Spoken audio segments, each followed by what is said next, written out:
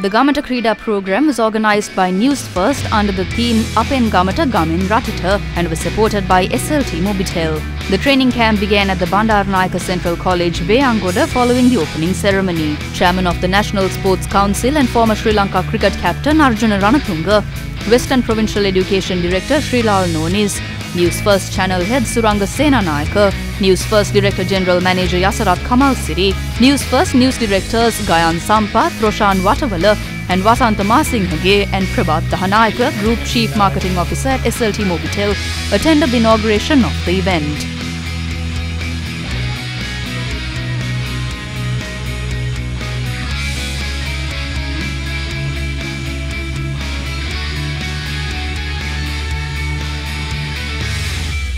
පාසලේ විදුවල්පති විදිහට ඒ වගේම අධ්‍යාපන We always work towards creating a better mental state for students to study well.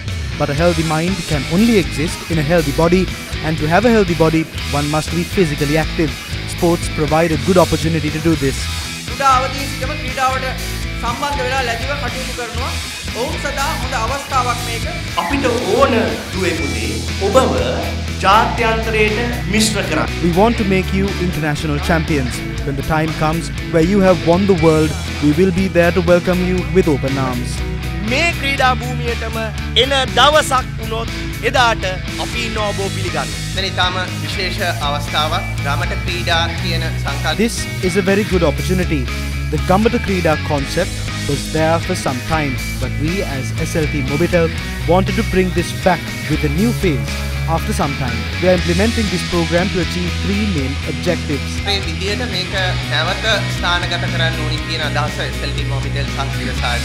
The training camp focuses on 10 sports including athletics, volleyball, netball, boxing, football, basketball, badminton and shooting. Experts in the sport including coaches and players were tasked with guiding these students to identify their talents and reach their true potential.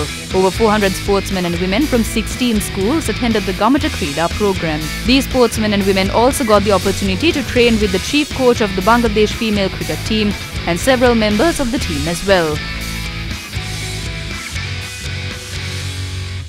Today we're here at the Bandaranaike Central College in Veyangoda with Gamata Krida. Now the sports first team launched Gamata Krida 10 years ago with the aim of guiding, nurturing the young individuals who are spotted at grassroots levels and taking them to the international and national levels. Today we had many veterans in all sorts of sports, veterans of the sporting uh, industry coming here to share their experiences and train these students who joined us in this program today.